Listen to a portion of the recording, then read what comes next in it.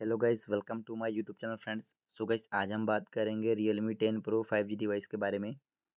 सो so guys, आज का हमारा टॉपिक है guys how to use key press sound so guys, आपको अपने डिवाइस में गाइस कीबोर्ड में की प्रेस साउंड किस प्रकार से इनेबल करना है। सो so गाइस, इस वीडियो में की प्रेस साउंड के बारे में जानेंगे। उससे पहले फ्रेंड्स, अगर आप हमारे यूट्यूब चैनल पर नए आपको सब्सक्राइब करते हुए बेलाइकन को भी ऑल पर सेट कर देना है। सो गाइस, यहाँ पर आपको अपने डिवाइस में सेटिंग्स में चले जाना है। सेटिंग्स में जाने के बाद आपको नीचे स्क्रॉल करना है। एंड फ्रेंड्स, यहाँ पर आपको गए सिस्टम सेटिंग्स में चले जाना है फ्रेंड्स।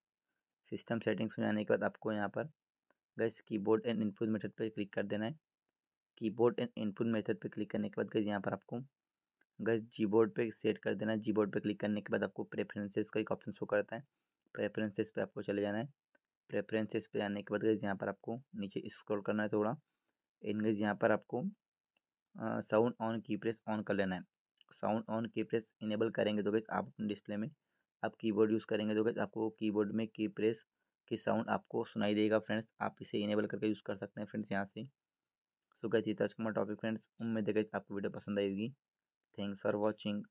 जय माता दी।